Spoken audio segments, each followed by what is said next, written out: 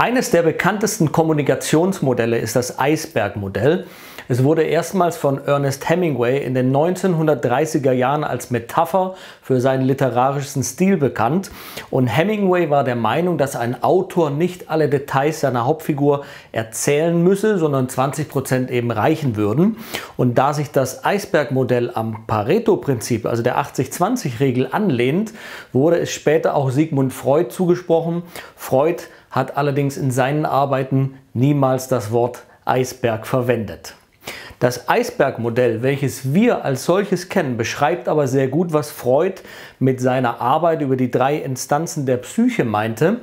Bei einem Eisberg ist ja nur ein kleiner Teil sichtbar, der Rest ist unter Wasser und überträgt man dieses Modell auf die zwischenmenschliche Kommunikation, entsteht folgendes Bild. Die oberen 20 Prozent sind Aussagen, also Informationen, die uns unser Gesprächspartner mitteilt. Gefühle, Wünsche, Fakten, also alles Informationen. Die restlichen 80 Prozent sind nicht sichtbar und teilen sich in unbewusst und vorbewusst auf. Vorbewusst sind Persönlichkeitsmerkmale wie zum Beispiel Ängste, verdrängte Konflikte, Sicherheit, Unsicherheit, Vertrauen, Misstrauen und so weiter. Und die betroffene Person handelt aufgrund von gemachten Erfahrungen.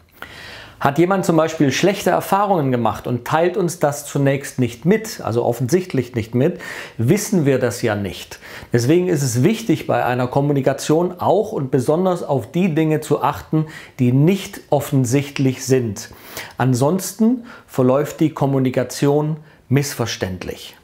Als unbewusst gelten Dinge, also traumatische Erlebnisse, Instinkte, Erbanlagen und Triebe. Oft sind dies Dinge, die der Betroffene unbewusst in sich trägt und gar nicht weiß. Paul Watzlawick hat die 20%, die sichtbar sind, als Sachebene und die 80% unsichtbare Anteil als Beziehungsebene bezeichnet. Möchtest du das ganz einfach und verständlich haben, dann merk dir gern auch meine Zuordnung. 20% sichtbar sind gleich die Informationen, 80% unsichtbar sind gleich die Emotionen.